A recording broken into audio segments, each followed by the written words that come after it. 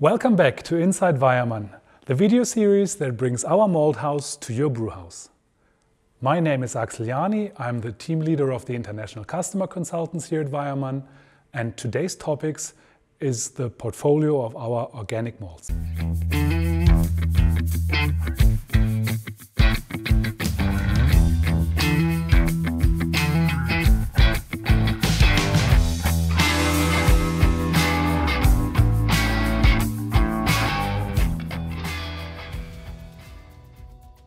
You may ask yourself, what is so special about organic malts, or first and foremost, the organic grains that go into our um, organic malts?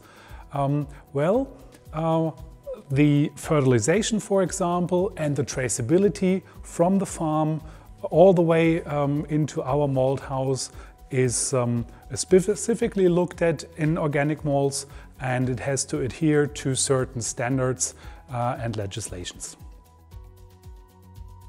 All of these certificates are to ensure the customer to have a, a healthy product uh, and um, in our uh, case here with the organic uh, grains and malts, we are adhering to the European uh, um, eco legislation as well as um, several uh, standards such as uh, um, Naturland, Demeter, and also the international standards, just as uh, JAS, uh, the Japanese um, organic uh, legislation, as well as BioSwiss.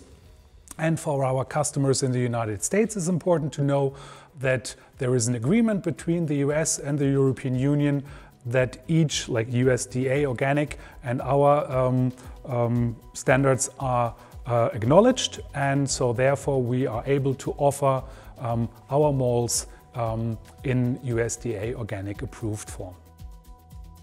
The beauty of the broad spectrum or the broad portfolio of the Weyermann specialty malts uh, is that they are available in organic form, not only just the base malts, but really all the way from the base malts towards the technical malts like Cara Foam, Cara Hell, acidulated malt. All of these are also available in organic.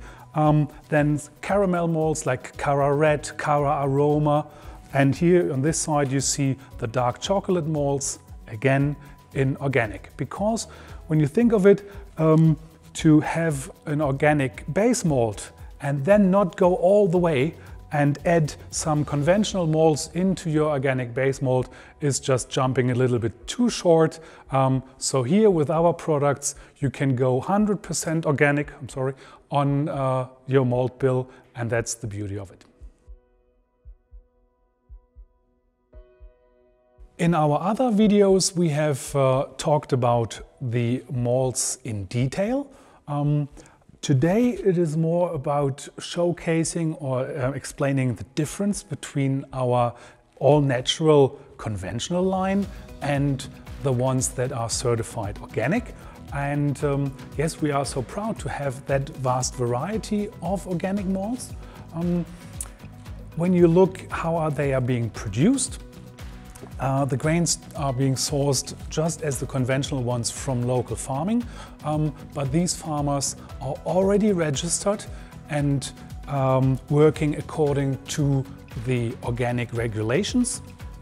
The grains are then coming into our malt house and here we are making these base specialty caramel and roasted products out of them um, and they are being kept uh, separate so that it is consistent throughout the whole process all the way into the bag and there on the back it does also say yes it is an organic product in there. It got the traceability number and to which organic legislation it has been produced of. Because there are slight uh, differences between each of them and that's the reason why we sometimes even have products under three different organic uh, organizations and um, that way you are able to brew, if you want to, all the beers in full organic, um, from a beautiful Pilsner uh, to a Munich beer, an international beer style, an organic IPA.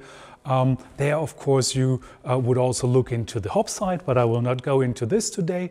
And um, I hope you enjoyed our little excursion into the organic side of malting and I hope to see you soon. All the best. Cheers.